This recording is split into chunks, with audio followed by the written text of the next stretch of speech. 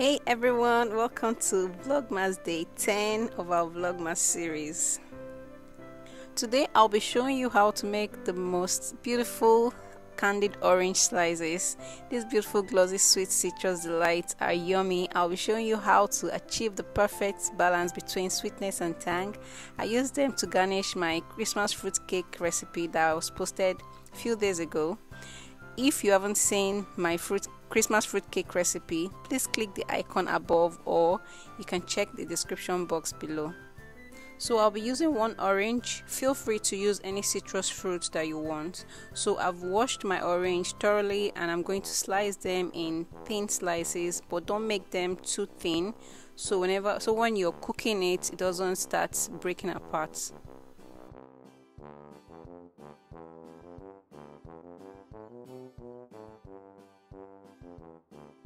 I'll be leaving everything I used in this recipe in the description box below so do check it out.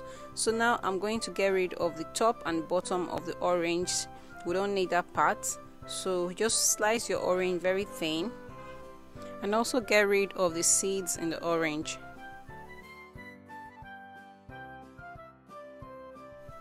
Now we're going to cook this in already hot boiling water the reason for cooking it is to reduce the bitterness in the orange rind.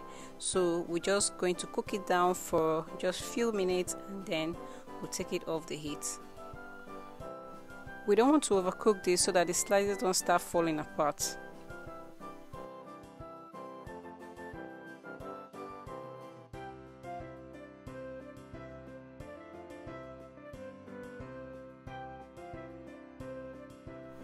After 15 minutes, we want to quickly get it out from the hot water and then drain it on the wire rack and then submerge it into ice cold water to stop the cooking.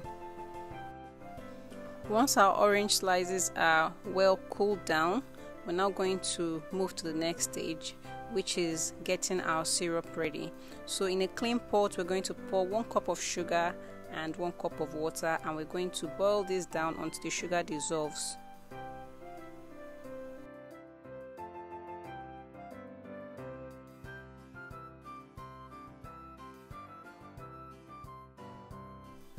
So now our sugar is dissolved. We're now going to place our orange slices into our syrup and we're going to carefully do this. We're going to place all the slices into the syrup and we're going to allow this cook for about 45 minutes on medium to low heat. And you know it's ready when your syrup start when your orange slices becomes glossy and when you lift it up it becomes translucent.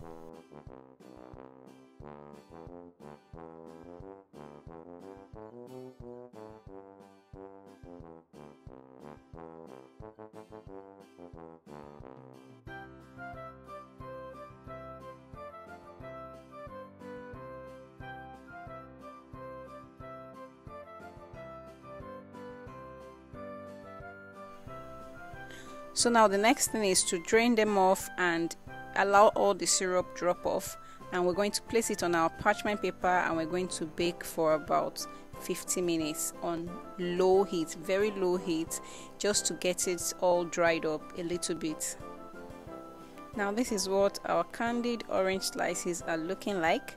So i'm just going to take them off from the parchment and then put them on the rack back again and allow it to air dry for a little while so it hardens up just a little bit it's going to be sticky but it's very yummy very delicious I use this on my fruit cake recipe. It is very beautiful to garnish your cakes with. You can use for any cake, not just fruit cakes. So I hope you've enjoyed this video. I hope you found this helpful. If you do, please let me know in the comment section. And also like and share this video. If you haven't seen my Vlogmas series from day one, please go back and watch and please like the videos as well. So until I come your way again tomorrow, Stay happy and happy baking.